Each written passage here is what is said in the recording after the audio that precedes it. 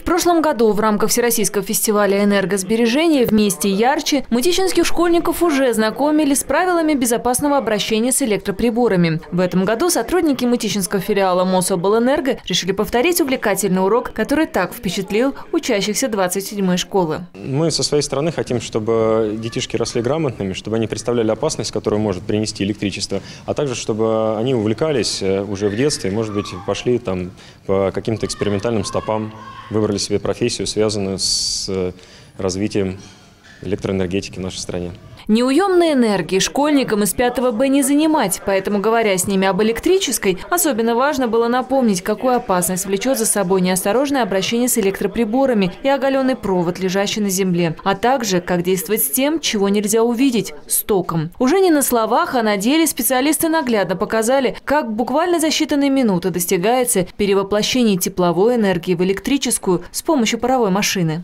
Излишнее давление, помимо этого, как в настоящем паровозе, скидывается при помощи клапана. То, что металл, вода и человек проводят электричество еще раз, но уже не на словах, а наглядно продемонстрировала профессор Юля. Мы с вами являемся кем? Проводником. Молодцы, проводниками. Почему опасно прикасаться к оголенным проводам? Потому что мы проводим электричество. И Янина, например, ухо проводит электричество? Да.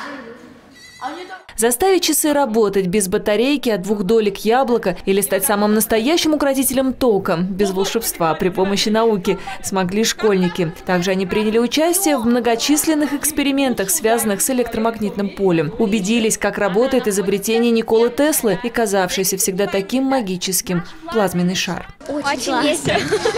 Что весело? Что понравилось? Эксперименты.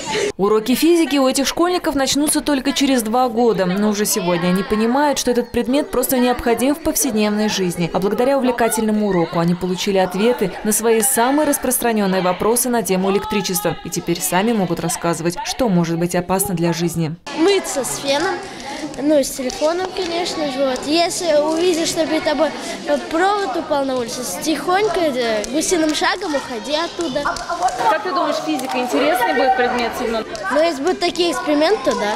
Кроме впечатлений, все школьники получили в подарок фликеры – светоотражающие элементы, чтобы быть заметнее в темное время суток, и увлекательный журнал, чтобы продолжать дома вместе с родителями проводить безопасные эксперименты. Дарья Ленская, Олег Степанов. Информационная программа «День».